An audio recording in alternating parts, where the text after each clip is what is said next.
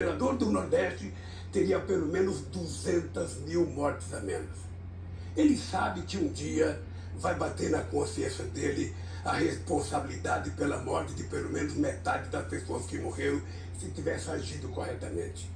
E ele, humano como é que é, não foi no hospital, não foi visitar uma pessoa que perdeu um parente e não teve um gesto, não fez desacreditar.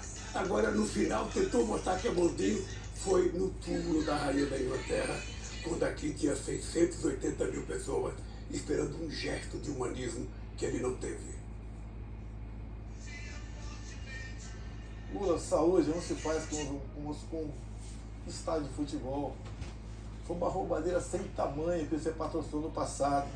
O teu governo fechou 40 mil leitos de hospitais, metade de pediatria. Então, se eu discutir números aqui, não vai dar para